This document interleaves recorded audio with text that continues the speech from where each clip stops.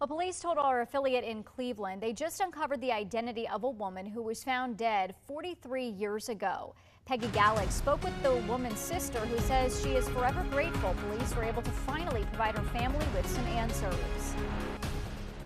At least we know what happened to her. Judy Lopez spoke to me Tuesday by phone. She is heartbroken but thankful that police were finally able to tell her what happened to her sister Patricia Eleanor Greenwood. I, I had a hard time when I first found out about what happened to her. It was it was a horrible thing to learn, you know. Sandusky police say they have spent 43 years trying to figure out the identity of a woman whose body was found in Sandusky on March 30th, 1980.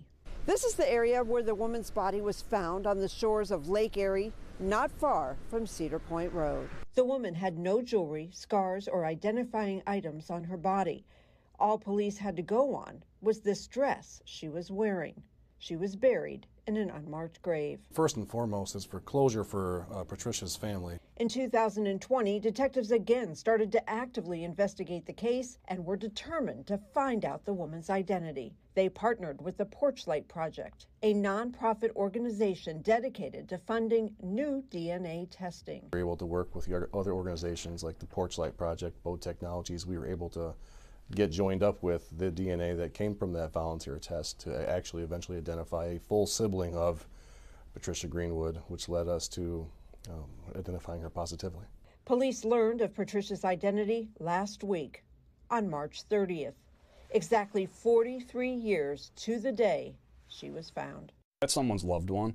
Um, and so we knew that we had to find, you know, there had to be a way. And as DNA um, continues to advance and there's advancements in technology, it was just the time to reach back out and, and pull this case out and, and start on it again. And Police say her death is considered a possible homicide. I find it very uh, personally um, strange that a, a, a, woman dressed like she would would just all of a sudden float up on the on the shore of a beach with no one looking for her.